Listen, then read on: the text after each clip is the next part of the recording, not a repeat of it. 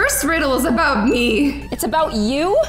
Yeah, Azzy owned a toy shop. I knew it. I knew you had a side hustle going on. Toys! One morning, somebody attacked her. Azzy, no! Why did they do that to me? Why did they do that to me? They stole the money from the register. Oh, Azzy, I'm I'm, just so here, just sorry. try- I'm just trying to run a toy shop. Why they gotta do me dirty like that? This is really hard for Azzy to talk about, guys, so we gotta be supportive. Oh man. The police suspected three employees. It was even an employee. This is this is this is rough. They questioned them. Imagine they name one of you, them you. the second one's me, actually. Mari, the sales assistant. I was helping a customer choose a present for his kid.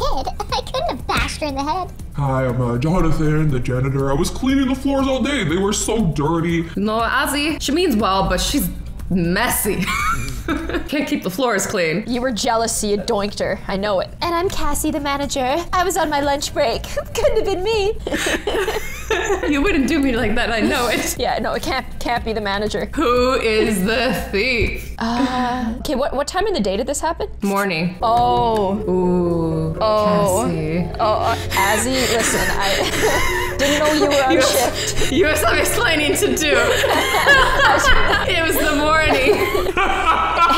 Haven't you ever heard of brunch? I was having some cantaloupe. Cantaloupe. Cantaloupe's good. You know what? I can excuse it. Yeah, little Forget and cantaloupe. forget. Why would she be on her lunch break? It's still a morning. Pathological liar. You would never do that. You're a No, good friend. never. No, never. Never The ever. The bestest. The bestest. I was framed.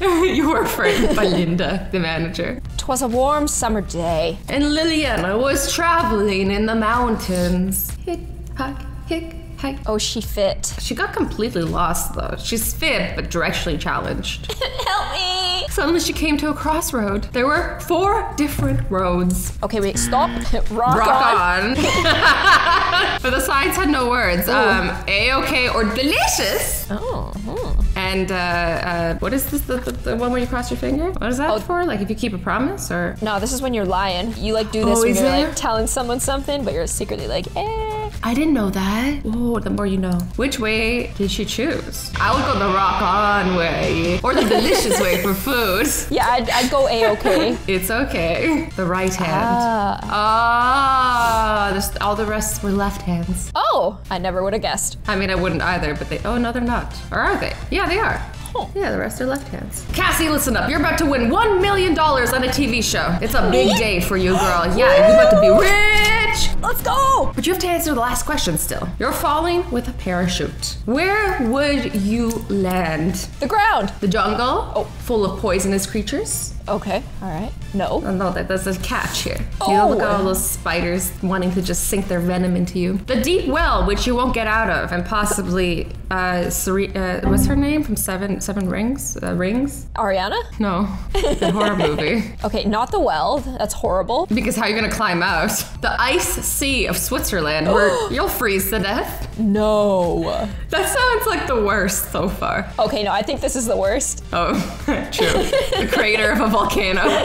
Why? Why would you do that? I have a plan. I got a plan too. All right, Okay, what's let's your see if our plan's the same. My plan is that, you know, if we land in the well, our parachute will be stuck at the top and then we can pull ourselves up. Okay, that's that's risky, Azzy. That's really risky. I'm I'm willing to take a risk. I'm not about to land in a volcano, that's for sure. Okay, so I, on the other hand, I'm gonna land in the volcano. What? Yeah, I'm landing in the volcano, and it was nice knowing you. Because it- what if it's not an active volcano? True. What if it's just dried magma? I have a third option. What? Landing in the ice water because it's about to be frozen. You can just you can Oh, just yeah. just walk over Switzerland, go visit the Alps, go skiing. You know, life's gonna be good. On the other hand, poisonous creatures don't usually bother you unless you bother them. Oh no. So we like all options. We're here for all of them. I'm going for the volcano. I don't know about you. Okay, I'm going for the ice. I'm about to survive. You're about to be don't know. jealous. Cass, I'm worried about you. I'm gonna come save you. If I, if I live on the ice, I'm gonna go straight to this volcano and pull you out. Yeah, bring some ice over, cause I'll be hot. Oh, that's hot. Oh, I'm you're coming right. your way. Oh wait, there's no. No, I wasn't right. There's no sea in Switzerland. But we're both Oh. stupid. Ah, the Switzerland Sea. Never heard of it? I did think it sounded weird, but I don't know my geography that well to question seven second riddles. Peter and Mia were getting ready for a Christmas party. They're a bit late, Christmas passed, but you know. Yeah, come on, guys. Get with the program. They decorated the house, and now we're decorating the tree. Mia told Peter that she wants a new iPhone for Christmas. You better get it for me, otherwise we're breaking up. But you have one already. Why do you need two? I want the new one. Listen, I bought it two years ago. It's old and I want a new one. Hello? It's like you don't understand me at all. Fine. Thank you. Love you. But the condition I'll buy you an iPhone only if you can solve a puzzle. Oh my goodness, why? Because we don't do things for free over here. Gotta work for it, lady. All right. Here's a beautiful Christmas ball. You need to cut the thread in half without breaking the ball. If it falls to the floor, it breaks. Plus, you can't touch the ball. Oh? 30 minutes later, Peter was buying a new iPhone. Oh, How did Mia no. do it? Because she solved it. How did she solve it? Cut it in half without touching the ball? But if it falls, it breaks. Oh. Like, can you put something underneath it? Or does that count as touching the ball? Yeah, do it over top of the cat's head. Oh, that cat looks so creepy. yeah, uh-huh. like, right? Like, put something soft underneath and then cut it? It depends what the rope is made out of, because what if it's like yarn and you could just like unwind it into half? Do I sound True. crazy? Or, okay. What if you, they said you can't touch the ball, but they didn't say you can't touch the yarn? True? Maybe what Oh, if you true. held the yarn, cut it in half, da da da da, Yeah, easy. right? But I still like like our first option of dropping on the cat. I'm joking. We're not Twitch streamers. Um. Oh. Oh. Wait. Oh, oh, oh. Wait. Oh. you tie it and then you cut it. Oh, okay. That was well, oddly specific. How were we supposed to guess that? I never would have. Ed worked as a window washer. Squish, squish, squish, squish. While he was washing the window on the 25th floor, Uh, no, get down. Ed, It's too dangerous. he slipped and no. fell down. Don't they have harnesses for this? Like, what is this? Ed, no. Ed! But you know, he didn't even have a scratch. Not even a scratch on his body. He was fine. He didn't put on his safety tether on for that day because he's stupid. Why wouldn't you? He's awful. He's just, he's the worst. How did he live? How did he live? How did he survive, Cass? I honestly have no idea. Maybe there were balconies on- on that particular building? Oh, and then he like grabbed onto a balcony. Yeah. Awfully risky. Yeah, very risky. Maybe he, oh, maybe he slipped and fell inside, indoors. Oh. Yeah. Yeah, maybe he was staring at what was going on in that office and then accidentally fell in. Honestly, sometimes I see like window washers and like going down the window, and it like creeps me out. I'm like, are they watching me? I always close the blinds. I'm like, sorry, guys. Well, it's, not like show. reflective. That I don't think they can actually see me because like I look at them and they never look back. Okay, let's find out. But he did survive. Oh, um, oh. He was washing the window from the inside. Oh, that was obvious. Okay, so he did slip inside. He did. And his job's not that Technically. scary. Nope, And technically, he wouldn't need any harness. Brad suspected his girlfriend Jane was cheating on him, but he didn't know who her lover could be. Look at her dancing on one foot. One night they were hanging out real late at the club. They didn't have money for a taxi. Sell the Louboutins. And Brad suggested staying at his friend's place. This is my girlfriend Jane. She's a real looker, huh? This is Dave. Why don't you guys shake hands? In the morning, Dave left for work early. Brad and Jane decided to have breakfast before leaving. Pass me the sugar, please, honey. It's empty. Oh, jeez. Sorry, honey. But Brad immediately realized that Jane had an affair with Dave. no! How did he know this? Cass, how did he know this? I think it's pretty obvious. Yeah, I think so. Like, how did she know where the sugar was? Because she's been there before and she's rummaged through those cupboards. there. She knows things. Yeah, she does. She knows too much. Could have at least played dumb for a second. The truth always comes out. Mm-hmm. Stan is locked on the top of a building. It is 200 meters high. Careful, bud. There's a hook on the roof, though, and another hook 100 meters down from it. Ugh. Stan has a 150 meter long rope and a sharp knife. How can he climb down safely? Oh, jeez. Wait, so he's 200 meters high Yeah. and has 150 meter long rope. Yeah. On the. This is scary. I mean, can't he just like call down? Can't somebody come help him? Yeah, I, I just stomp on the roof. Yeah, help! Help! Wave his arms. but that's, I don't think what they want us to do. No, they want us to use that rope. Okay. Well, the rope can go from hook to hook. So, mm-hmm. like, maybe he can tie it to the first hook, shimmy down, grab the second hook, tie it to the second hook, climb back up, untie it. Wait, no, that's dangerous. And then Tarzan is, oh!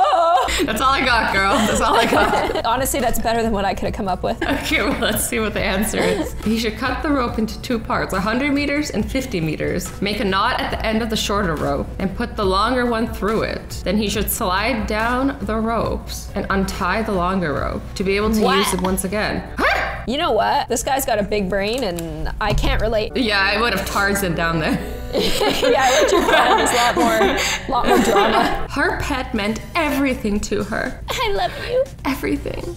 Ah! And her python returned her affections. He loved her back. But then one day it stopped eating. Oh no. Oh no, poor python. Whatever its owner did, her pet wouldn't eat. Frightened, she showed it to the vet. Doctor, help! He won't eat anything! My python! I love him. At night, he coils himself around me, and I don't know how to help him. Oh, that's a little dangerous. Oh girl. yeah, that's scary. Yeah, you sleep with your python. Like, she want to get eaten. You came to me on time. Your pet is healthy. Really? He's not eating for one reason.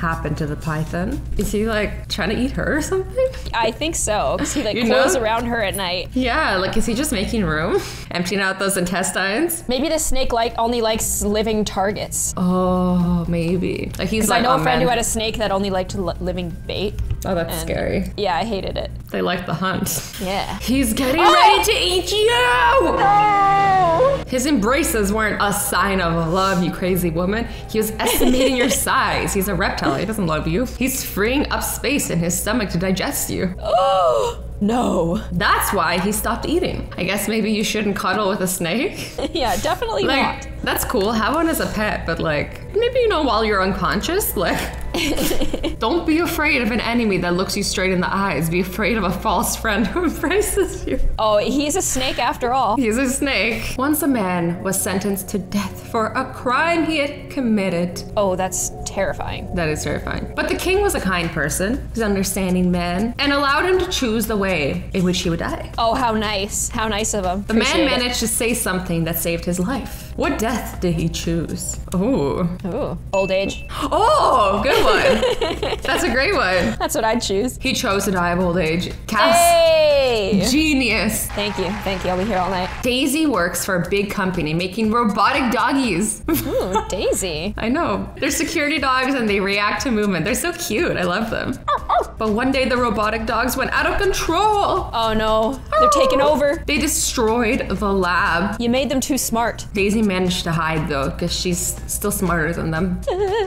Now she needs to escape as soon as possible. Daisy can see three objects a bat, a water squirter, or a small ball. Which one will get her out of this? I don't know. Like, I feel like with a water squirter, you can like destroy the robots because they're made out of electronics after all. I don't have the patience for that. I'm taking the bat. okay, I'll take my water squirter and I'll squirt them with waters. And I'll have the bat for when you run out of water. Or maybe a small ball can distract them. Oh, she could choose the bat to fight the dogs. I think you were right. Oh no. Oh. But there are too many of them. Well, what do you expect me to do? Like play fetch with them. She could choose the water squirter, but it's small and pretty much useless. So Don't tell me these robot dogs are gonna chase the ball. the no, small get ball is the right here. choice. Even though they're robots, they're still dogs, Cass. Ah, okay, No, no all dog right. can resist a ball. Less, lesson learned. You are traveling with your friend Love doing that. around the enchanted islands. It's so beautiful Ooh. there. Suddenly witches appear in the sky. Never mind. Let's go home. yeah, let's go home. This is enough. They kidnapped your friend.